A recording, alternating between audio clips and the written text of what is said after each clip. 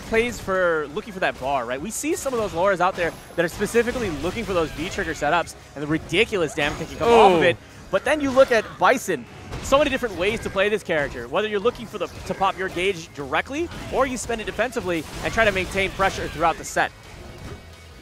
It looks like, though, it's just a lot of pressuring, and it looks like Bison just continuing to maul this Laura. Yeah, the interesting thing about this matchup is obviously both characters can swing either way. We know Laura has a very aggressive, very in-your-face playstyle of offense.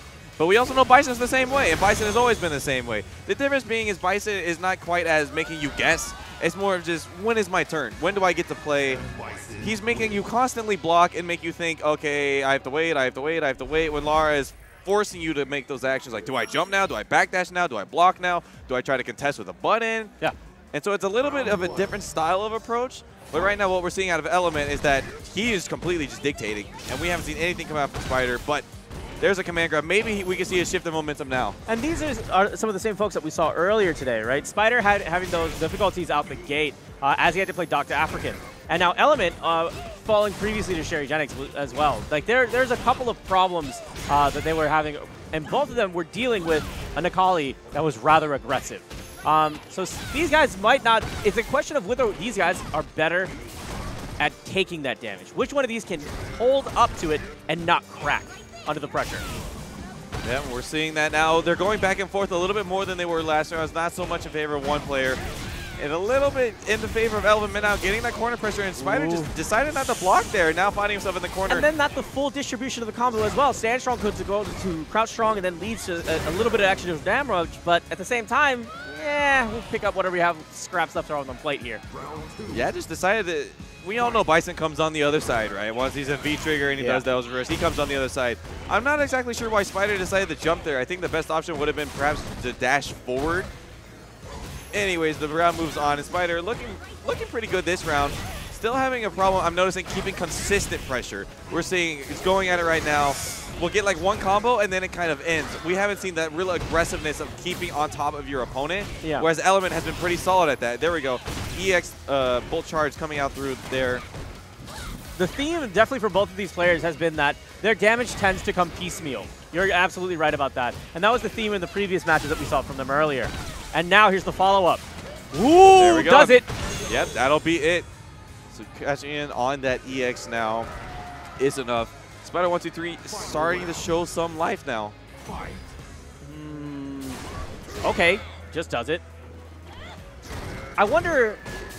Now this is the where the when's my turn question comes up, and that's a common question uh, when it comes to Bison. So what are some key things that some folks need to look out for to understand this is their turn? This is when they have the ability to counteract.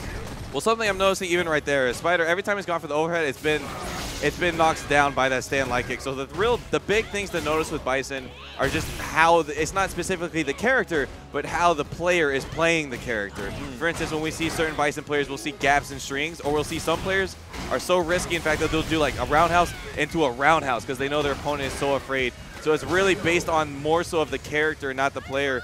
And something we're seeing now is just Spider. It looks like he's a little bit frustrated. Uh, I guess that's funny. He's wearing a Spider-Man shirt. His name is Spider One Three. I love it.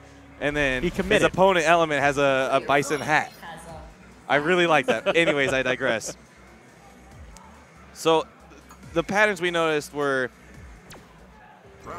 it's just Spider it's not so much if he can't combat Element's offense, he couldn't get his own offense going. And obviously you can't win games from just blocking, right? Yeah. In basketball, if you block all the shots, great, but you're not scoring any points, right? Yeah. You got to get some of those layups.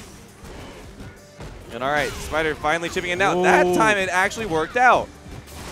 He tried to look for the cross under afterwards to get some sort of a mix-up, but not so. Still looking for those grabs. Element now having difficulties just keeping this Laura off of him. And that's going to be the first round of the board for Spider. You know, that, that was a really strange round, actually, because Element had played really calm throughout this whole set and had not really jumped at anything specifically. And when I say jump, I don't mean physically jump, but kind of like that little jump you do and you see when something happens. That round, he seemed yeah. very antsy. He did like wake up moves that you don't really do on wake up. He really just wanted to get away instead of just defense. But now Spider, it seems like it's, whoa. Looks like that's exactly what you're talking about. He's quicker to jump now. Now, it seems like there's a lot more moments that these guys are trying to find some sort of offensive pressure.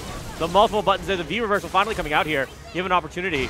Tries to guide himself in, but not going to be able to find some sort of opening. I, I will say something I'm noticing about Spider now is it looks like he doesn't recognize the block strings because there have been block strings where it's like stand stand strong into Psycho Blast, Mm. where it's a very obvious you just block it and go back to neutral. yeah. I've seen a couple of times now he'll block the first thing and hit by the second thing where it's just I wonder what he was doing there. Maybe he was trying to jump out. Maybe oh oh, oh man, that's always so dirty. Someone dash forward, dash back, and you get hit. I think you're right. I think there's definitely like a lack. There might be a, a, a bit of knowledge to be gained from Spider for figuring out when exactly it's his turn. Woo damage? No, the walk forward, the menacing. Stun, but that will be more than enough for Element to move on over Spider. 3-0, looking pretty good. Believe that was, as you said, that was loser side. Yeah, I saw these guys play earlier, so yeah. All right, well, it looks like Spider's going to be going home. Slowly disconnecting that controller. Doesn't want it to be over yet, because now this is the hardest part for all of us when we go to tournaments, going from player to spectator. Ah, Something I'm uh, actually quite familiar with. We so- have the best seat in the ho- house, though, John. Yeah, that's why I transformed my experience. I no longer go from player to spectator. I go from commentator to spectator. Oh man, this this has been a crazy event so far. Uh, we've seen a lot of ups and downs, and it's been honestly one of those moments where it's like you get to see the full variety.